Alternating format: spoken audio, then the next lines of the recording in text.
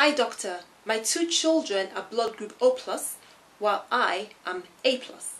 Should I be worried about the paternity of the children because my wife is O+. plus? Ooh, the paternity question. And it gets asked a lot. Watch this video to the end to find out why a father who has a different blood group from his kids does not mean he's not their biological dad. Hey now, take a step outside and seize the day now. Set aside your worries, it's okay now. The sun is here to stay. There, welcome back to my channel. And if this is your first time watching one of my videos, I'm Dr. Sylvia. I'm a general practitioner and the founder of Ask Away Health, where we provide you with direction and clarity about everything medical. Do please subscribe to our channel, and when you do, don't forget to click the notification bell down at the bottom so that every time we publish a new video, which is usually once a week on Saturdays, you'll be one of the first to know about it. So let's jump right into today's topic. So this is the question there is a man who is blood group A plus, who has a partner or is married to a lady who's blood group O plus, and all the children are O plus or O positive. And this chap is concerned that these kids aren't mine. How come none of them is A or A plus?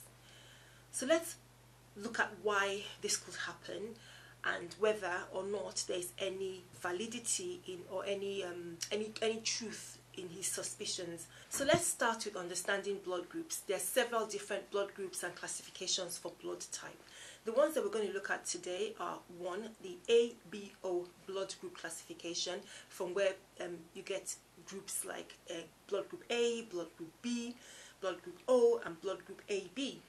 There's also the rhesus factor or the rhesus type, from which you have um, rhesus plus or rhesus positive and um, rhesus negative or rhesus um, minus or RH minus and RH plus as the case may be. So how do individuals develop blood group? Now your blood group is determined by the genetic material that you inherit from both your biological parents. The O gene is considered to be recessive. That means that when it is in the presence of another type of gene that is dominant, the expression of the O gene is silent, i.e. you actually don't see it being expressed. If, for example, um, if you look at a gene that determines the shape of your nose, and this is just a far out example, if that particular gene were recessive, then it will not it will not contribute to the way your nose looks. So there are certain conditions and there are certain genes that are recessive. They're actually present, but you find that they are not um, they're not physically expressed. They can be inherited and passed on from one person to the next in terms of generation, but unless there is more than one of them, their expression, their physical expression is, is silent. So in the case of an individual who is AO, because the O gene is recessive and the A gene is dominant, the person is known as a blood group A. The person who has genetic component AA is referred to as A. There are no issues with that one. In that instance, it is possible to have two individuals who are both blood group A, whereas one person has genetic components or composition AA, the other individual who is also blood group A has a genetic composition AO. And that's similar for people who are blood group B, for example. Two blood group A individuals both the same blood group but different genetic comp um, compositions because one person can be blood group BO while the other person is blood group BB in terms of the genes that comprise their blood group. So now let's look into the blood group differences and how it may um, affect paternity if at all. So it's important to know what the genetic comp um, composition of the of the group is because that's what determines what you transfer or transmit to your children. For the individual who has blood group A, who has genetic component or composition AO, if they partner with a blood group O um, lady who has genetic composition OO, that combination or that couple potentially will have children with type A and type O.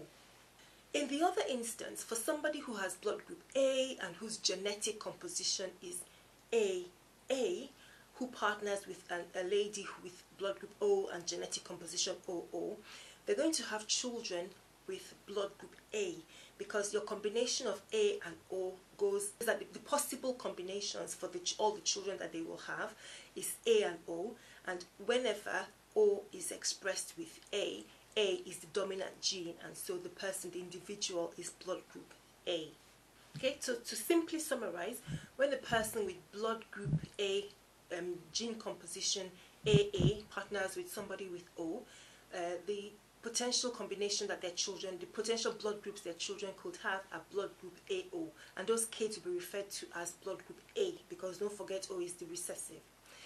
When a person with a blood group A but genetic composition AO partners with somebody who has blood group O, they could potentially have children who are AO and OO.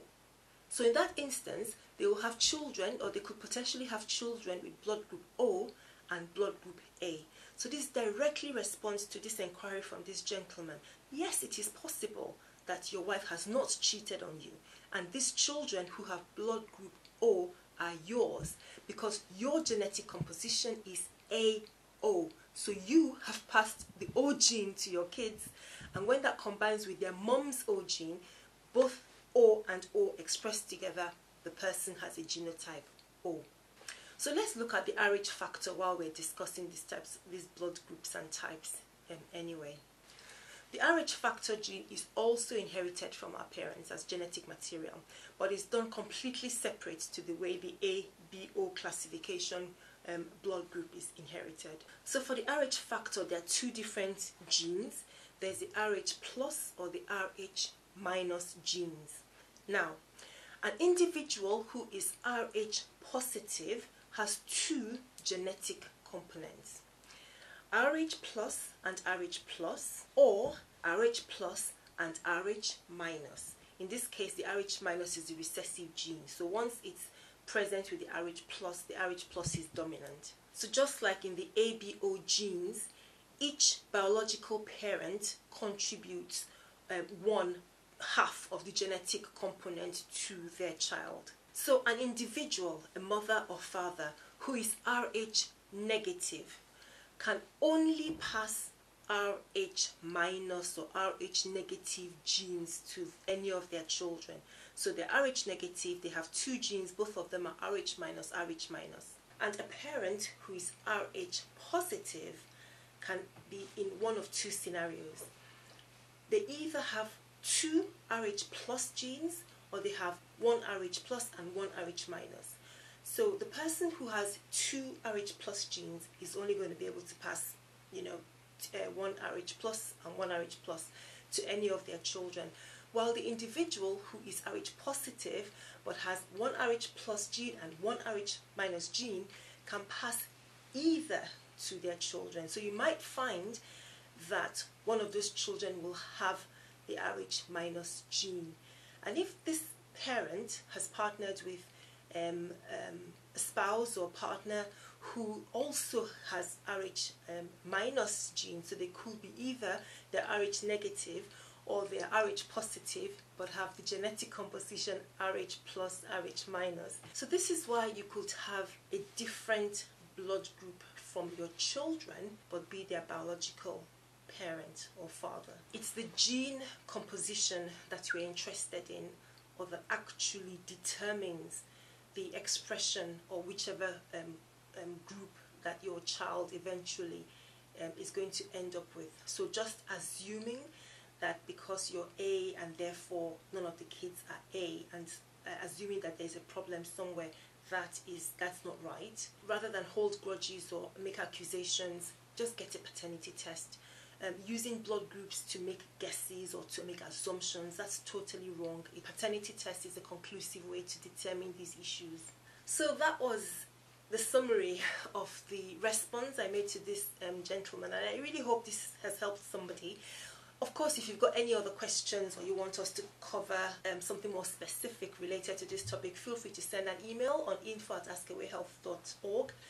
I'm always happy to hear from you, and I will leave the link in the description. As don't forget you can join our Ask Away Health community. We have an online platform on www.askawayhealth.org that we'd love for you to join and um, of course it's free to subscribe at the moment and you have access to um, health information, health advice, publish our blog and of course the opportunity to ask us specific questions that we could actually run a video on. So if you found this video helpful, just slap a like on it, share it with a friend, tell me it was helpful, and um, I hope to see you again sometime soon. Hey now, take a step outside and seize the day now. Set aside your worries, it's okay now. The sun is here to stay. Blue sky.